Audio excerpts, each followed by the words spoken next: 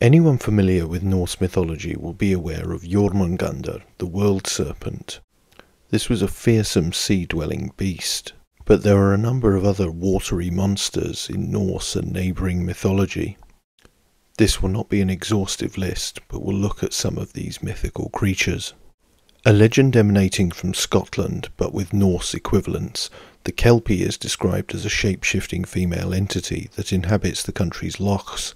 It is often described as having the form of a horse, but can transform into a human-like appearance.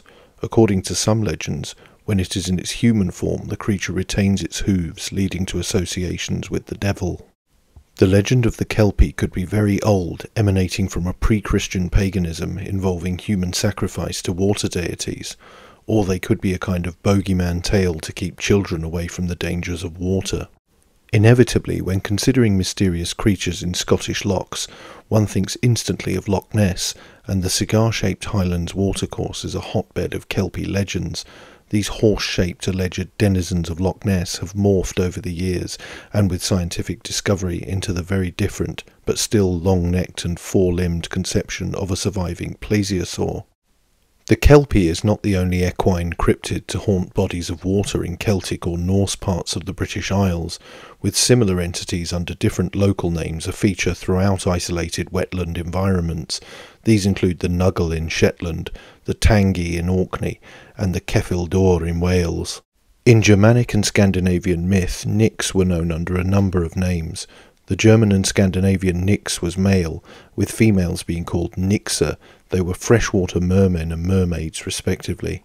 In England, a similar word, knucker, referred to a dragon, worm, or wyvern, but more similar entities to the nix or Nixe were recorded in English folklore, like the malevolent river hag Jenny Greenteeth.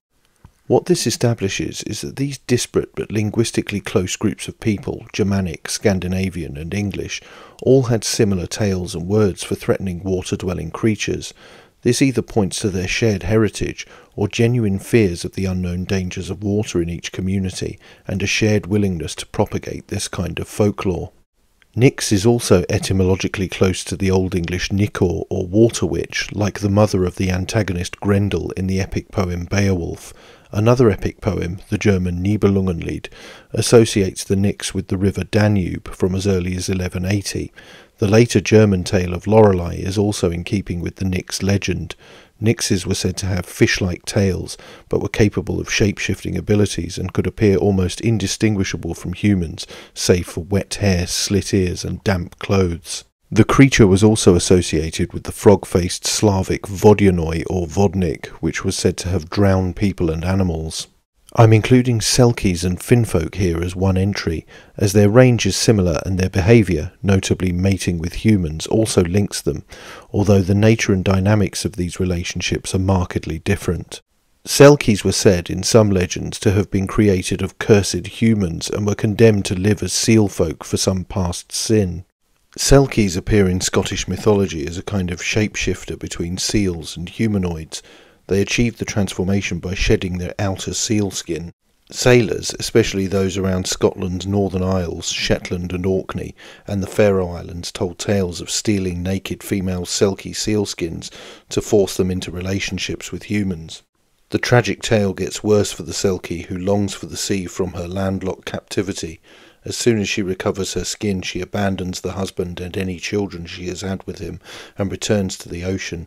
Some stories claim that she will visit her children on land intermittently in her seal guise. Male Selkies were also alluring for human women. They were said to prey on and seduce fisher wives whose husbands spent long periods at sea. One story concerning the pseudonymous Ursula recounts such a liaison. The lovelorn Orkney Islander would weep seven tears into the sea to summon her Selkie lover. Hybrid offspring of humans and Selkies, as reported in the case of Ursula and her lover, were said to have webbed hands, as a result of the Selkie myth, it was considered a bad omen to kill seals to make use of their fur and blubber in the remote landscape of Orkney and Shetland, even in the hardest of times. Selkies can be seen as captive slave women or sexually promiscuous men. Their relationship to humans was one of victim or trickster. The same cannot be said of another contemporaneous Orkney legend, that of the so-called Finfolk.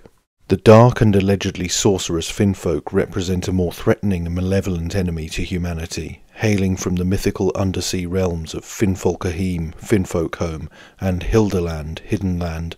They were known for venturing to the shallows and the shores in search of human captives.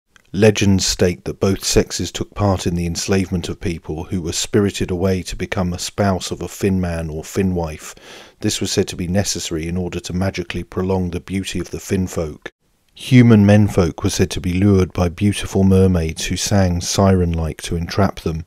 Male Finfolk opted for subterfuge and disguise in order to outwit human slaves. The dwellings of Finfolk borrow from the notion of the sunken city of Atlantis, with impressive megastructures, alluring decorations, and advanced technology in the case of Finfolkaheme, or a mythical island like the Arthurian Avalon in the case of Hilderland. Hilderland itself is often associated with the now uninhabited island of Eynhallow, which is now kept as a bird sanctuary.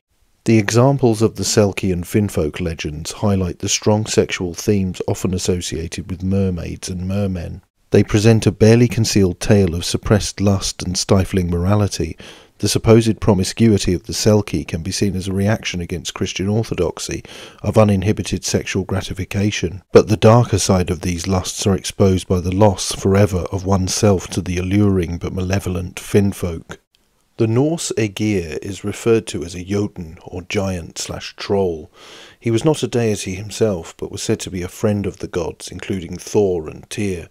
While venerated in Norse mythology as a kind of master of the seas, it is possible his name could be pre-Norse and have very ancient Indo-European origins. Icelandic chronicler Snorri Sturluson, who wrote the Prose Edda and Skaldskaparmal, linked the figure of Aegir to the sea giant Hlér. Hlér is also potentially the same as the Old Irish sea god Lair or Lear, who corresponds with the Welsh Llyr, Shakespeare's pseudo historical King Lear, a pre Roman Celtic king, has often been linked to Llŷr. Lear or Lair was said to have been part of the line of Brutus, who, according to legend, fled to what is now Britain from the ruins of Troy after the Trojan defeat of the Greeks. This storied history highlights the common mythology of different peoples across the centuries and lends weight to the idea that Aegir has an ancient and potentially Indo European past. In terms of his appearance, Aegir has been shown as humanoid with a long white beard, a muscular body, and scaly and finned arms and legs. He was said to live in an undersea palace of coral walls, white sandy floors, and with multicoloured seaweed as decoration. Aegir was married to Ran, a sea goddess who was said to have trapped seafarers with a net and pulled them underwater to their deaths. Mythology states that they had nine daughters who personified waves. More on these and similar mythological creatures can be found in my book, The Little Book of Mermaids, which is out now on Amazon. The link is in the description.